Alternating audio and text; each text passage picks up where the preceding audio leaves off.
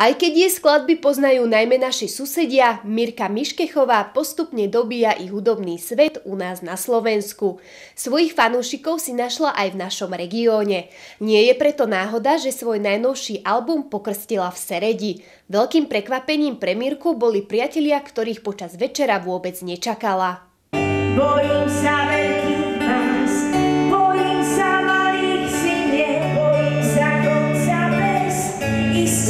Je tomu 21 rokov, čo v tomto kine sme organizovali krst CD Peťky Jurinovej.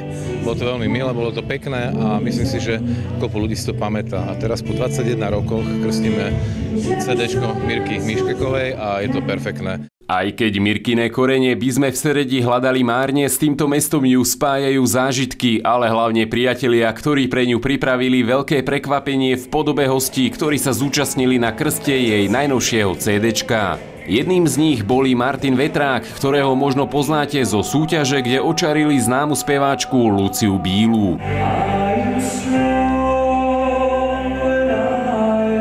Som sa veľmi potešil, keď som, keď som zistil, komu idem na krst. Musím povedať, že pre mňa pôsobí ako šťastný človek. to som si nevšimol. A má neskutočne krásnu farbu hlasu.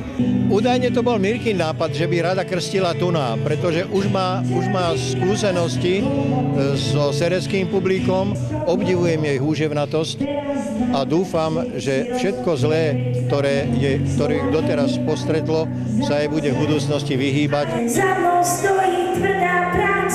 Pre mňa to bolo fakt, že asi najsilnejší koncert za dlhé roky lebo naozaj, že to bolo pripravené pre mňa a vôbec som nevedela, akí tu budú hostia, aký bude program a strašne, strašne ma to dojalo.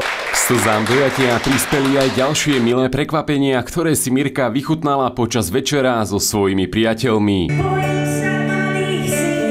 Bol som rád, že ma vlastne spoznala a že si ma pamätala z akcií, ktoré sme mali možnosť spolu hrať. No a urobila na nás veľký dojem.